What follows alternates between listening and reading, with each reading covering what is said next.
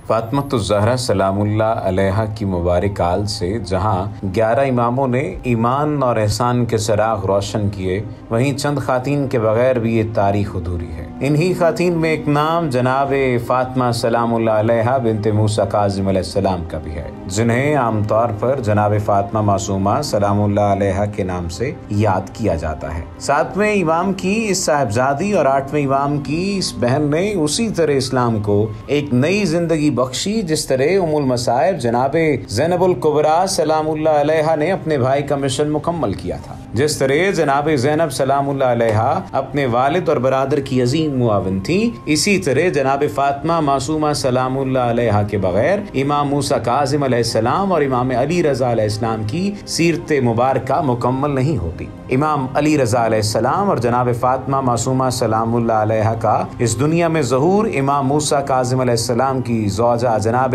नजमा सलाम के बतन से हुआ। जनाब नजमा, इमाम जाफ़र सादक सलाम की जौजा, जनाब हमदा सलाम की कनीज थी। जनाब हमदा को रसोल्ला ने ख्वाब में हुक्म दिया कि जनाब नजमा का निकाह अपने फर्जंद जनाब मूसा काजिम बिन जाफ़र सादक से करवाएँ। इस निकाह से दुनिया के अफजल तरीन लोग पैदा होंगे। इमाम जाफ़र सादक सलाम और जनाब हामदा ने उस हुक्म की तामील की और इमाम अली रजा सलाम और जनाब फातमा मासूमा का मुबारक जहूर हुआ। जनाब फातमा मासूमा की विलादत की पेश गोई उनके दादा और हमारे छठे इमाम जाफ़र सादक भी कर चुके थे। आप ने बता दिया था कि हमारी आल में फातमा नाम की एक खातून का हरम कुम में होगा। वो खातून मोमिन के लिए जन्नत का वसीला होंगी। मासूमा सलाम की इसी फजीलत के सबब आप सलाम के बरादर ने उन्हें मासूमा का लकब अता फरमाया। जनाब मासूमा कुम की फजीलत सिर्फ़ ये नहीं है कि आप रसूल पाक सल्लल्लाहु अलैहि वसल्लम और मौलाए कायनात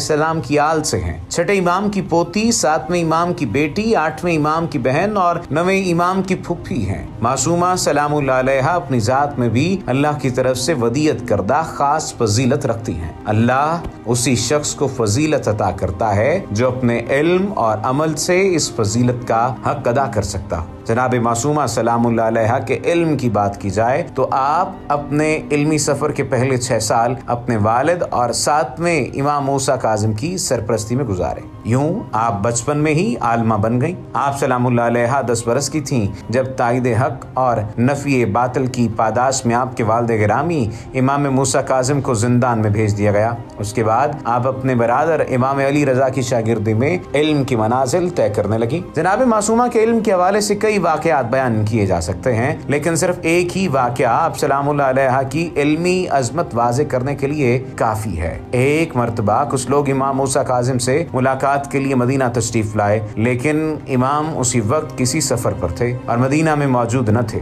साइलिन इल्म के इन सवाल के जवाब जनाब फातमा मासूमा सलाम ने दिए, जो वो आपके वालिद के लिए लाए थे। वापसी पर रास्ते में इन लोगों की मुलाकात इमाम मूसा काजिम से हो गई। इन लोगों ने इमाम मूसा काजम अलैहिस्सलाम को वो तमाम जवाब बताए, जो फातिमा मासूमा सलाम ने उनके सवालों के दिए थे। ये जवाब इस कदर जामे और बेहतरीन थे कि इमाम मूसा काजिम ने अपनी बेटी के इल्म पर इस तरह फखर का इजहार किया, जिस तरह मौला कायनात सईदा जैनब सलाम के इल्मी खुतबात पर किया करते थे। इमाम मूसा काजिम सलाम ने फरमाया, फातिमा का बाप उस पर फिदा हो। इमाम मूसा काजिम सलाम की शहादत के बाद जनाब फातिमा मासूमा सलाम अपने भाई इमाम अली रजा की सबसे अहम मुआवन मददगार थी। जब मामून ने इमाम अली रजा को खरासान भेज दिया तो जुदाई का एक बरस जनाब मासूमा ने बहुत कर्ब में बसर किया। आखिर एक साल बाद वो अपने खानदान के तेईस लोगों के साथ अपने बरदर और इमाम से मिलने खरासान रवाना हुई। वक्त के जालिम बादशाह के हुक्म से